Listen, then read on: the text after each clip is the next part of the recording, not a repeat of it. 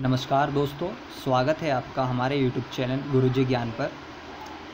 दोस्तों, आज एक और टॉपिक के साथ मैं आपके सामने उपस्थित हुआ हूँ और यह टॉपिक हर व्यक्ति के जीवन में महत्व रखता है।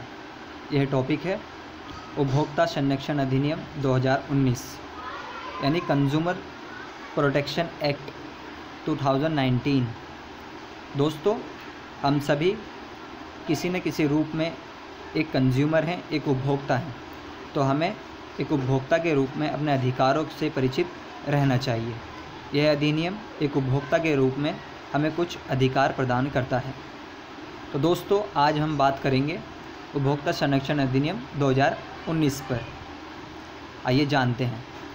तो दोस्तों, उपभोक्ता संरक्षण अधिनियम 2019 20 जुलाई 2020 से लागू हो गया है। यह उपभोक्ताओं को मज़बूत बनाएगा और इसके लिए इसमें विभिन्न प्रावधान किए गए हैं, जो उपभोक्ता की अधिकारों की रक्षा करेंगे और उनके अधिकारों को आगे बढ़ाने में मदद करेंगे। दोस्तों, जान लेते हैं इसके कुछ प्रमुख बिंदु। तो दोस्तों, नया अधिनियम, पुराने अधिनियम, यानी पुराना अधिनियम हमारा बना था उपभोक्ता संरक्षण अधिनियम, उन्नीस सौ छियासी। यह उसकी तुलना में अधिक तीव्रता से काम करेगा। साथ ही साथ, पहले के उपभोक्ता संरक्षण अधिनियम में न्याय के लिए एकल बिंदु पहुँच दी गई थी, जिससे काफ़ी समय लग जाता था। इसका दूसरा प्रमुख बिंदु यह है कि दोस्तों, पुराने अधिनियम में त्रिस्तरीय उपभोक्ता विवाद निवारण तंत्र, यानी राष्ट्रीय स्तर पर उपभोक्ता निवारण आयोग, राज्य स्तर पर उपभोक्ता विवाद निवारण आयोग और जिला स्तर पर उपभोक्ता विवाद निवारण आयोग की व्यवस्था मौजूद थी। अब नए अधिनियम में इसमें कुछ बदलाव किया गया है। आइए जानते हैं वो बदलाव कौन से हैं।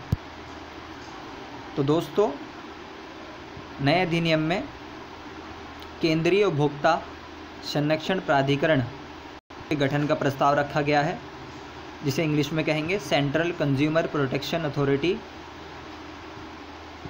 यानी सी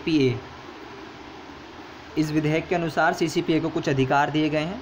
जो इस प्रकार हैं, यानी यह उपभोक्ता अधिकारों के उल्लंघन और संस्थान द्वारा दी गई शिकायतों की जाँच करेगा, साथ ही साथ असुरक्षित वस्तुओं और सेवाओं को वापस लेगा एवं उनके निर्माणकर्ताओं पर उचित कार्रवाई की जाएगी।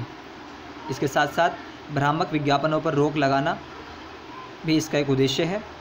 आज के समय में भ्रामक विज्ञापन बहुत अधिक फैलाए जा रहे हैं। जिससे अराजकता का माहौल बहुत जल्दी उपलब्ध हो जाता है। दूसरा यह है कि दोस्तों, जो भ्रामक विज्ञापन फैलाते हैं, उनके निर्माताओं पर यह जुर्माने की व्यवस्था भी करेगा, साथ ही साथ सजा का प्रावधान भी करेगा। दोस्तों, इस नए अधिनियम में ई कॉमर्स और उससे संबंधित व्यापार व्यापार व्यवहार पर भी नियम बनाए गए हैं। दोस्तों, आज हम सभी अपने जीवन में किसी न किसी रूप में ई कॉमर्स, यानी ई इलेक्ट्रॉनिक व्यापार से जुड़े हुए हैं। हमें जब भी किसी चीज़ की आवश्यकता होती है, या तो हम अमेज़ोन से उस चीज़ को ख़रीद लेते हैं, या फिर फ़्लिपकार्ट से। तो दोस्तों, जब हम इन चीज़ों को, इन सब वेबसाइट से ख़रीदते हैं तो हमें कुछ अधिकार भी प्राप्त हैं, जो हमें जानना बहुत ज़रूरी है। कभी कभी लोग बागों को ऑनलाइन बिज़नेस में, या ऑनलाइन ज़्यादा अधिक मुनाफा कमाने के लिए उपभोक्ताओं का हनन कर दिया जाता है, उनका शोषण किया जाता है। तो दोस्तों, हमें जानना है कि वह कौन से अधिकार हैं जो हमें ई कॉमर्स कंपनियों से प्राप्त होते हैं। तो दोस्तों, वह इस प्रकार जानते हैं। सरकार उपभोक्ता संरक्षण यानी ई कॉमर्स नियम 2020 को अधिनियम के तहत सुनिश्चित करेगी, जिसके प्रावधान निम्नलिखित हैं। इसमें पहला प्रावधान है दोस्तों, प्रत्येक ई कॉमर्स इकाई को अपने मूल देश समित रिटर्न रिफंड एक्सचेंज वारंटी और गारंटी डिलीवरी शिपमेंट भुगतान के तरीके, शिकायत निवारण तंत्र, भुगतान के तरीके, भुगतान के तरीक़ों की सुरक्षा, शुल्क वापसी संबंधित आदि सभी विकल्पों के बारे में सरकार को सूचना देनी होगी। दोस्तों, यह, यहाँ हम ये कह सकते हैं कि यह जिस भी प्रकार से ऑनलाइन व्यापार किया जाता है या ऑनलाइन ख़रीदारी की जाती है, उसमें सभी जितनी भी चीज़ें शामिल होती हैं, उससे संबंधित जानकारी एक ई कॉमर्स कंपनी को सरकार को सुनिश्चित कराना उपलब्ध अनिवार्य है। अन्यथा वह हमारे देश में व्यापार नहीं कर सकते। दूसरा प्रावधान यह है दोस्तों, ये सभी सूचनाएँ उपभोक्ताओं को उनके प्लेटफॉर्म पर खरीदारी करने से पहले मुहैया कराई जानी चाहिए, ताकि वह एक उचित निर्णय ले सकें।